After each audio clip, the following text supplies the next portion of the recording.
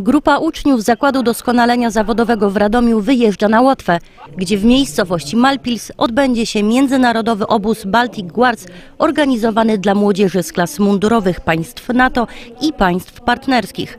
Z Polski zostały zaproszone tylko dwie szkoły. Zakład Doskonalenia Zawodowego w Radomiu, który prowadzi certyfikowane klasy mundurowe pod patronatem Ministerstwa Obrony Narodowej, a także z Ełku. Dotychczas w szkoleniu brały udział tylko kraje nadbałtyckie, takie jak Litwa, Łotwa i Estonia.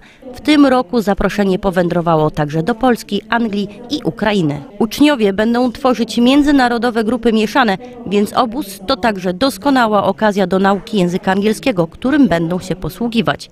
Jak mówi pułkownik Sławomir Gąsior, czeka ich sporo pracy. Z takich y, przedmiotów szkoleniowych to będzie tam szkolenie strzeleckie, wspinaczka, pierwsza pomoc przedmedyczna, taktyka, terenoznawstwo. W Polsce jest około 500 szkół mundurowych i tylko część z nich jest certyfikowana przez Ministerstwo Obrony Narodowej. Y, ogromne wyróżnienie. Jesteśmy w pilotażu już druga edycja, także mm, to też jest dla nas wyróżnienie, czyli sprawdziliśmy się, wchodzimy do drugiej tury pilotażu. No i z tych wszystkich szkół pilotażowych, które obecnie będzie chyba 105, bo było najpierw 57 i doszło następnie prawie 50, więc z tych y, szkół jesteśmy wytypowani. To świadczy o tym o dużym poziomie wyszkolenia, o działalności naszym, o zaangażowaniu w to szkolenie.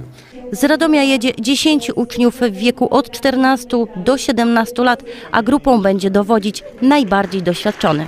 Na pewno nie będziemy chcieli rywalizować między sobą państwami, tylko właśnie poznać nowych znajomych, zaprzyjaźnić się, razem się kształcić. Też się nauczymy języka na pewno.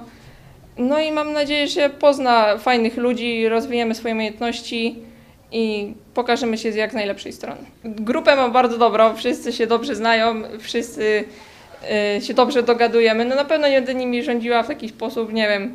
Prostu będę wydawała komendy, zdyscyplinowani musimy być. Wiceminister Obrony Narodowej Wojciech Skurkiewicz mówi o trwających pracach nad tym, aby od przyszłego roku akademickiego absolwenci certyfikowanych klas mundurowych mieli dodatkowe punkty przy aplikowaniu na uczelnie wojskowe.